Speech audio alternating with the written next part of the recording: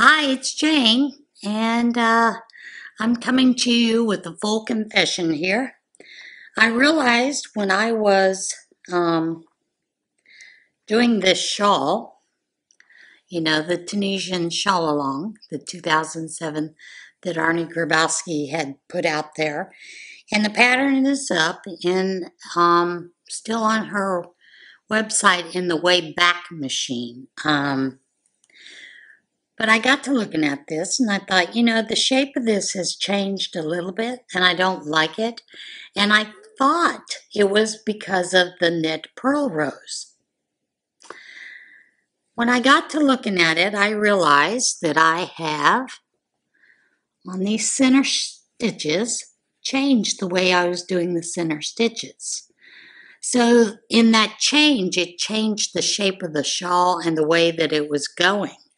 So I'm going to rip it back and I'm going to show you how to pick up some stitches using a lifeline in Tunisian knit, I mean in Tunisian crochet. So we're going to put a lifeline back here where this um, simple stitch is. And then I will proceed correctly with the pattern. And I'll show you how to add a lifeline. Now, for the lifeline, the um, if you have one of these swivel hooks, most of you, where you have the join, there is a hole here that you actually put the key in to help tighten. That is where you're going to use um, use it to your benefit okay? Um, and I will show you how we do that. You can do that with crochet thread, um, and that's what I'm going to do is with the size 10 crochet thread to add a lifeline. But um, first off, I'm going to show you how to do it with a simple needle, um, you know, like a darning needle, something like that. All right, guys, let's get over to the table and let's fix this boo-boo. See you guys there. Okay, folks, we're at the table and I am going to start picking up these stitches. And I'm going to pick up the um, simple stitches so that I can rip back to that simple stitch row. And that's going to start right in here. The problem is going to be when we get up here to this Tunisian extended stitch is to pick up the right stitch. Um, but it's just it's a lot of it's a lot like knitting um, when you add pick up stitches for um, knitting. Now I am using crochet thread, so I pulled off a nice big long length of it, and we're going to start picking up those stitches. Okay, so we know that we need this stitch. We're going to need this one, this, this. Because it's Tunisian simple, it's fairly easy to pick up those stitches. Um, it's when you get into the knit and the purl, it, it gets a little difficult to pick up stitches. And then you're just going to pull that uh, thread through there. And we're just going to continue to pick up the stitches like this. And ideally, you don't want to split your yarn, although sometimes it happens. And you just want to pull that cord with you as long as you go. You could use yarn if you wanted to. Um, I just thought because I had this sitting right there, it would be easier to use it. Okay, now we're coming up to the center stitch here. We want to look real carefully we do see that stitch there. That is our full stitch. That is our yarn over. And then this is our extended stitch. And then we'll once again start picking up on the other side, which that's the yarn over. That is the full stitch. And we'll just continue to pick those up as we go. I think you can see where if you were doing a um, If you were picking up the stitches in the knit, it would be easy because you can see there is your knit, just like your Tunisian simple stitch. You know, it's going to be easier to pick up as you go. Purls are difficult to pick up because you really have to look at the stitch. Here is the purl. When we would do the purl, we would just pick up one leg. And normally that would be this leg here. But since we're going back to the Tunisian simple stitch row, that makes it an easier system for picking up those stitches.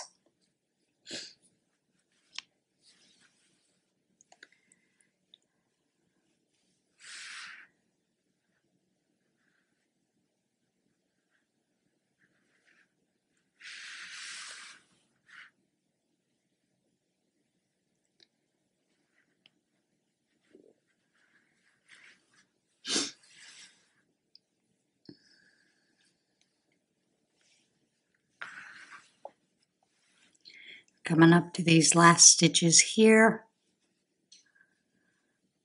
That's the last stitch there. That is the full stitch.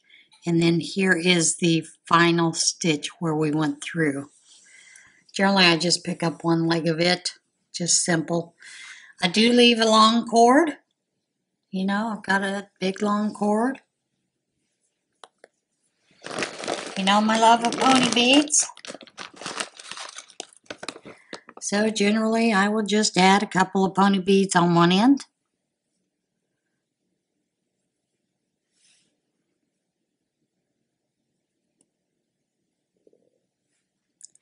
Tie a couple of knots so they don't come undone. Usually I do three.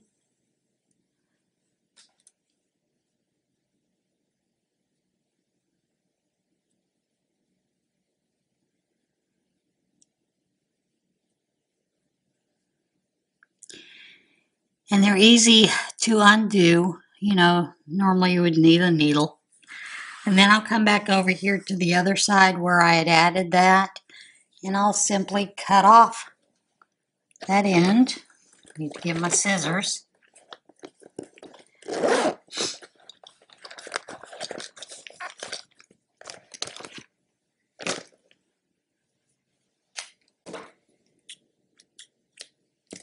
Cut off that end add one or two pony beads, doesn't really matter.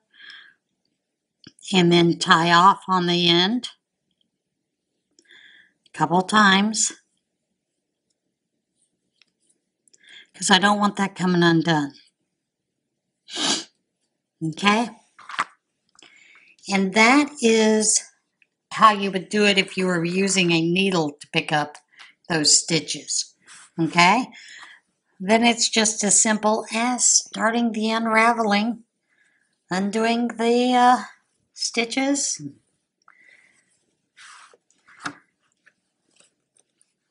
And what I had realized I was doing is when I got to this center stitch, I was actually doing, instead of an extended stitch, I was changing that stitch all the way up. Um, I was doing the extended stitch and then pulling through the, the uh, yarn over. And that's what caused a lot of those issues. So I'm going to go off camera and I am going to rip this out and then we will get back to getting it back in order and I will show you again how to add a lifeline to your hook and um, yeah we'll go from there.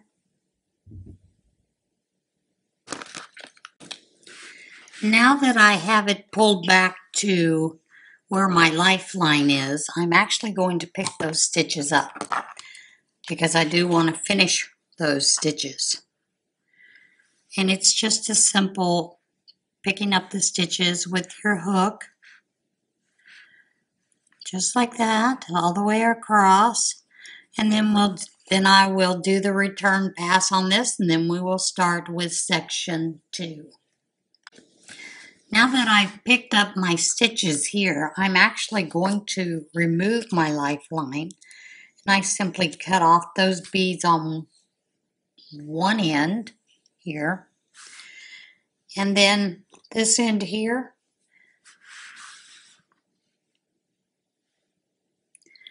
you just simply pull your lifeline through and out.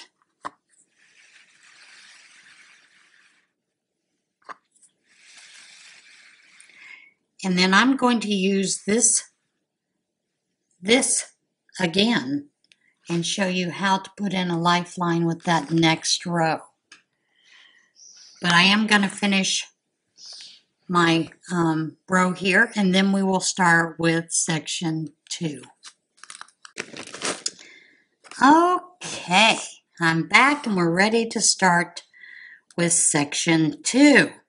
Now, I'm going to reuse my cord here. So I'm going to thread it through one of these holes that is here. Um, it's kind of difficult to see.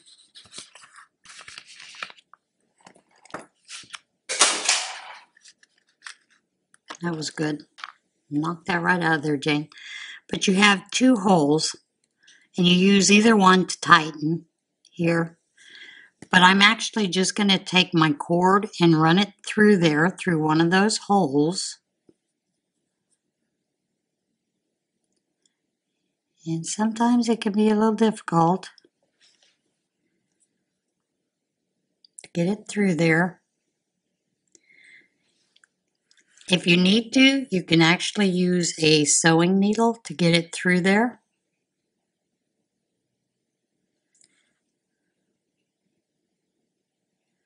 I may need to go get a sewing needle. All right, guys, be back in just a second. Okay, now we're ready to add our lifeline. And the lifeline, if you have a um, needle threader, you can actually run your needle threader through that hole there to place your thread your cord. I do not. So what I have done is simply taken a piece of thread, doubled it up, and run it through. Hope you can see that. So that I have a loop here. Now what I'm going to do is I'm going to run my size 10 thread through there create a nice little loop. And then I am going to go into that hole, take my needle through the hole, and pull my cord through. And I am going to leave a nice long tail, and then I'll just simply take that out of that thread that I had there. And then we're ready to start section two. All right, section two starts the um, row, it's a row A and row B. Row A is a Tunisian purl row. Row B is Tunisian knit. And um, then you will repeat those rows A, then B, A, then B for a total of eight rows or however many you choose to do. So it starts with the Tunisian simple stitch, then a full stitch, and then we begin our purling. So we're going to purl all the way up to the tip.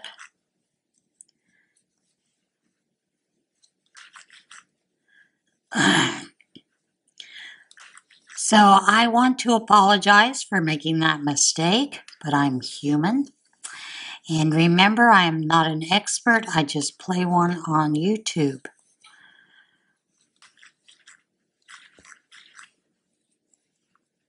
But yeah, you know, and maybe um, by making the mistake, it'll help you so that you too can avoid making that mistake.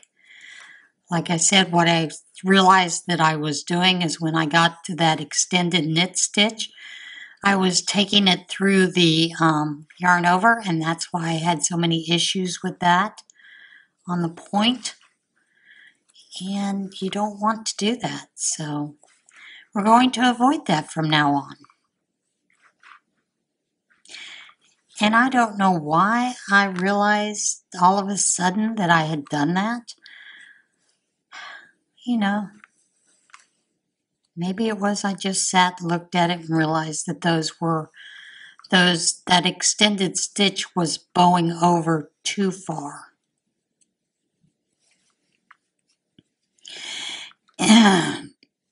Sorry about that, folks. First thing in the morning, allergies. That nasal drainage is a pain. But anyway, it was a good experience to show you how to put in a lifeline. Um, and sometimes you have to rip things out. All right, we've got up to the center point, and now this is our yarn over, so we will do a full stitch there, then yarn over, then do a extended knit stitch, which is go through that as knitwise, pull up a loop, and go through that chain. Then we'll yarn over. Our next loop, our next stitch here is that full stitch. So we'll do that and then we will start purling on the other side.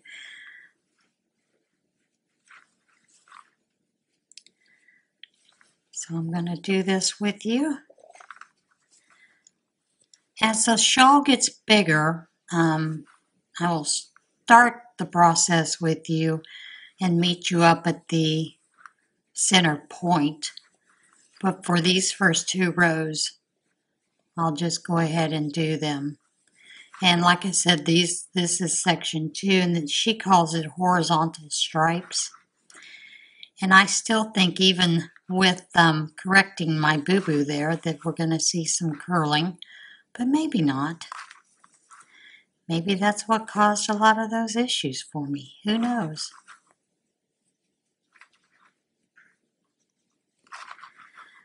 It's anybody's guess, right? Biggest thing is to remember with this shawl is to do those increases on each end and to remember to do the full stitch and then your um, yarn overs before you do your extended knit stitch in the center. And the extended knit stitch is designed um, simply because if you just did a knit stitch there, it would not be tall enough to create the point. And you do want a little bit of a point with this shawl.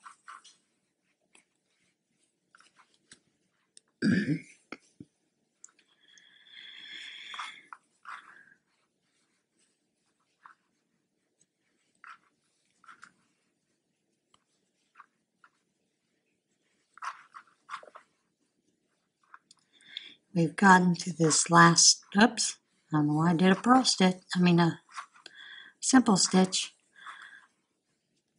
And then we will do a full stitch here. And then pick up the last two like normal. Chain one, and your return pass is chain one, yarn over, pull through two all the way back to the beginning and I'm going to do that with you.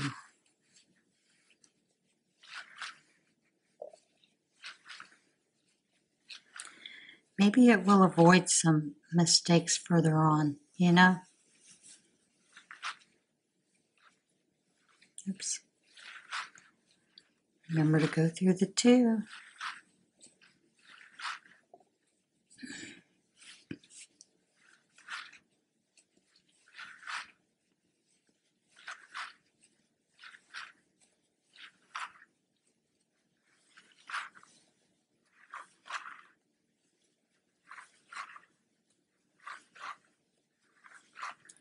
And you're hearing that cord hit against the um, board that I use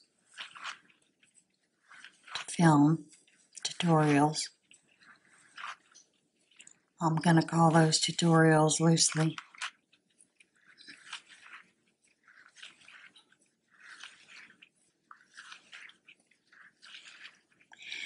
And I don't know, um, I do find Tunisian crochet um, almost therapeutic um, because that return pass, it just it feels nice when you're doing one, especially if it's just the simple return pass, your normal return pass. When you have to do those countings as you do with that lacy star stitch, then it gets a little odd, you know?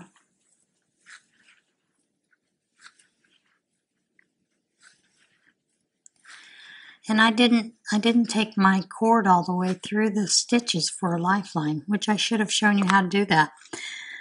All right, let me get some more yarn here.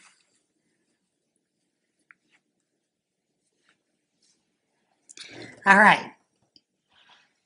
Now the second row, row B, is the knit row. And you see you've got a little bit of a dividing line there. And you'll find when she has you do these sections in between, she does have you do a purl row in between to define the sections. Um, so, let's start on that row B. Row B is our knit stitch row. And of course, we still start with a simple stitch. Then we do our full stitch here. That's our increase. Then we begin the simple stitch, which is simply going through the stitch front to back, pulling up a stitch.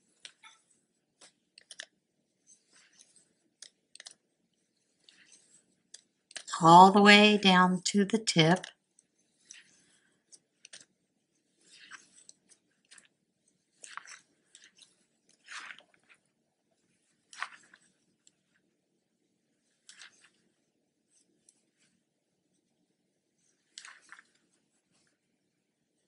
See, I got so engrossed in doing that purl stitch that I didn't show you how to pull the uh, cord all the way through so that you had your lifeline.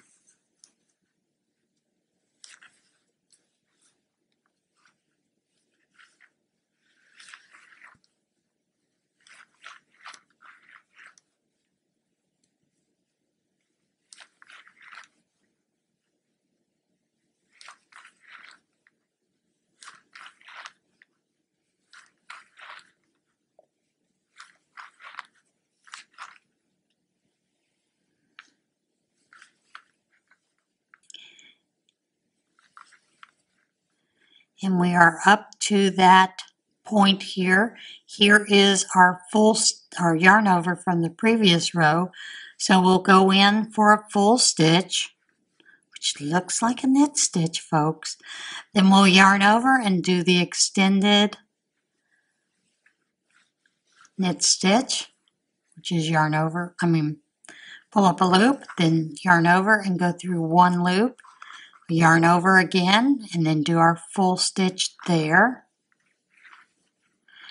and then we will start our knit stitch all the way down the other side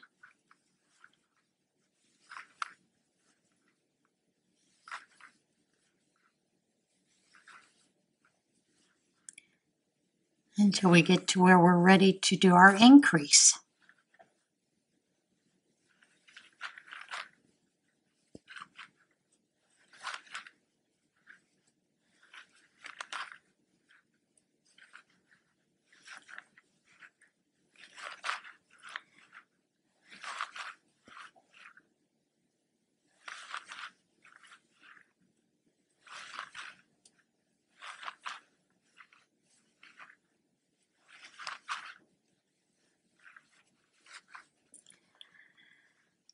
Okay.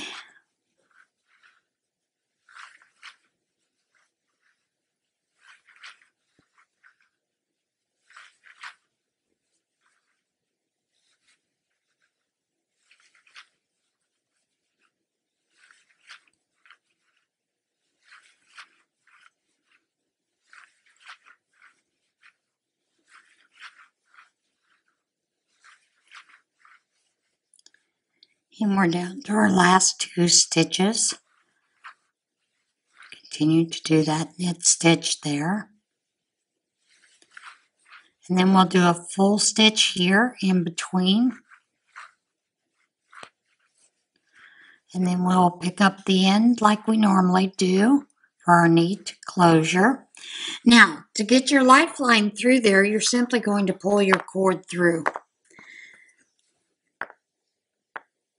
Now at this point, you can undo your cord from your hook. So you have your lifeline there. And you know, normally I like to add my pony beads. Um, I find that that helps me just keep from losing the cord. And you know, you you don't have to add a pony bead. I just do that for me. As your work gets larger, you will have to um, use more more of your cord than than you did before. Um, that is the only thing with this. All right, then our return pass is as normal, which is chain one, then yarn over, pull through two, yarn over, pull through two, yarn over, pull through two. The only thing you want to make sure is when you're coming back with that, you're not pulling that yarn in under your cord, okay? Because your cord does get in the way a little bit there. So just make sure you don't do that. If you are using yarn in place of um, crochet thread, you're more likely to try to pull it through the yarn. That um, is your lifeline as well. And you really want to avoid that because that makes a tangle when it comes time to pull it out it is possible, but sometimes you've got to work where you've pulled that under in that stitch and finagle it a little bit. Okay? And that is um, that is what you're going to do for these two rows is you're simply going to do one row of purl stitch, one row of knit stitch, you just want to remember to do those increases on the ends as well as the beginning and then in your centers. Um, like I said, you always want to keep in mind that you're, even though it looks like you are doing a, um, you know, I'm telling you that you're doing a full stitch, it looks like you are doing a knit stitch in that full stitch, um, which is really kind of what a full stitch is, except it goes in between the bars normally instead of um, through a stitch. But, you know, that's just the way this one works. because you are doing your full stitch in the yarn over and not into the bar. And um, let me get to the end here and I'll try to show you a little bit what I'm talking about there.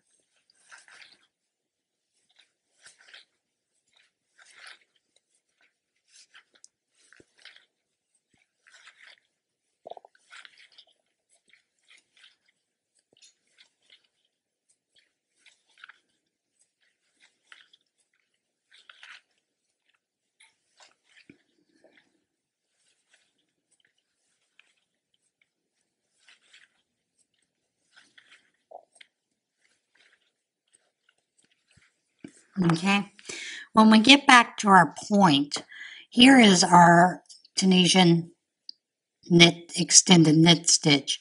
And this is your yarn over from the um, previous row. And you're doing your full stitch in the yarn over.